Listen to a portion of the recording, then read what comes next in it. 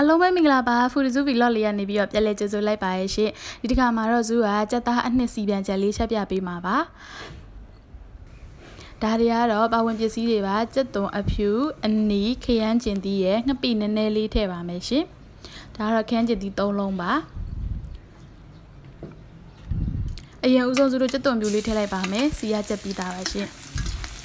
စက်သွန်အဖြူထည့်ပြီးပြီဆိုရင်ချက်ချင်းပဲစက်သွန်အနီထည့်ပါမယ်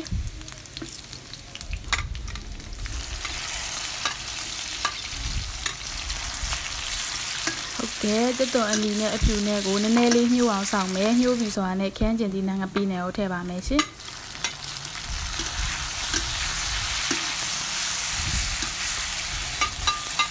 ပီလေးနည်းနည်းလေးထည့်မှာပါ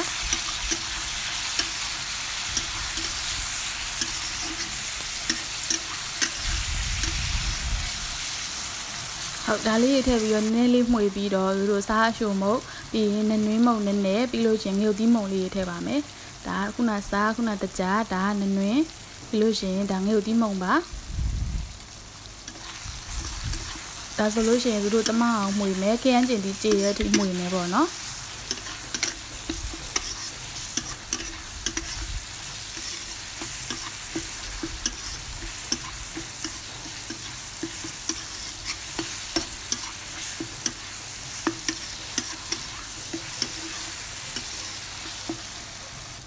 ခင်းကျင်ပြီးကြေလွယ်အောင်လို့ရေလေးကိုနည်းနည်းချင်းနည်းနည်းချင်းထည့်ထည့်ပြီးတော့မှွေပါမယ်ဒီလောက်လောက်ရေလေးနှစ်ခါသုံးခါလောက်ထည့်ထည့်ပြီးမှွေပါမယ်အဖုံးအုပ်ထားလဲရတယ်ပေါ့နော်သူကတော့အဖုံးမအုပ်ဘူးကြေအောင်ပဲမှွေပါတယ်ဟုတ်နည်းနည်းလေးကြေလာပြီဆိုရင်တော့စက်သားကသူကပြုတ်ထားတာပါ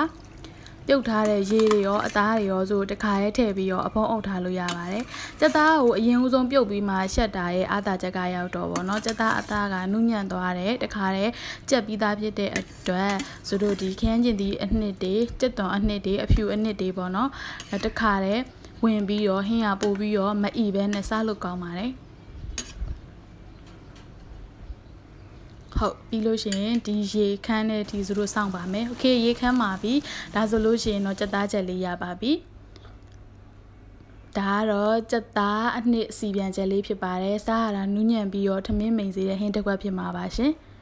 အားလုံးပဲကျေးဇူးအများကြီးတင်ပါတယ်ဇူးဗီဒီယိုလေးကိုကြည့်ပေးလို့တတ